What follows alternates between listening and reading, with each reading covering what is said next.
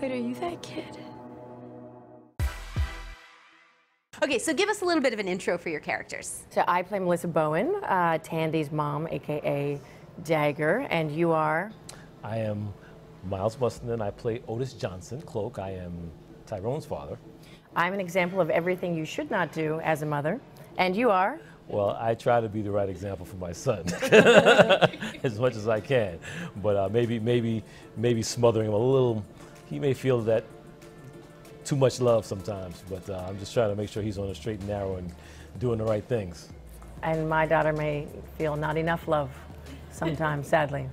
Yeah, it's a lot darker than I expected it to be. Yeah. Um, so, did you guys know about your characters before you went into this? Um, you mean from the comics? Yeah.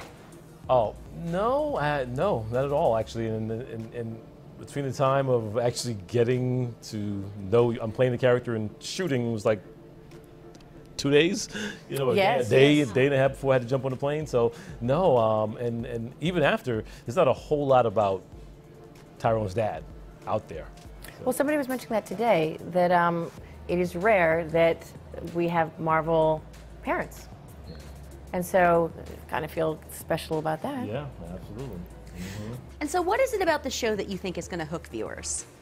I, I think first of all, Olivia and Aubrey are two tremendous talents. They are they, ringers, They, yes. are they are amazing uh, actors um, and just people in, in general. So I think they're going to hook them in. I think we have. Uh, I think there's something special that, that's here uh, because they, they're teenagers that are going through these life, you know, that, um, and we're telling the story in a real way, you know, uh, uh, with addictions and you know and these type of things. But they on top of all the, the things that teens go through they also are they have to they have superpowers you know? Um, so I, I think just that we're telling the story the way we're telling the story in such a gritty way such a real way um, honest uh, i hope that that's going to hook people in. And I'd also like to hear your thoughts on superhero love stories. Well, I think that we have a very special superhero love story.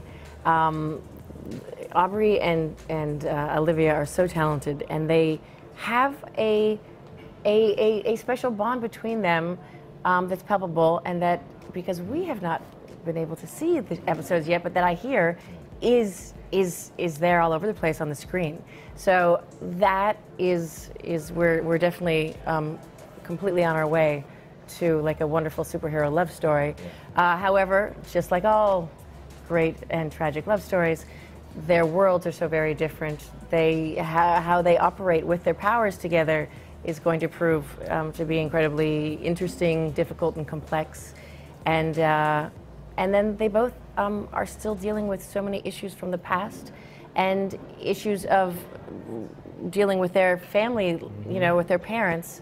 Uh, so there's there's a tremendous amount going on.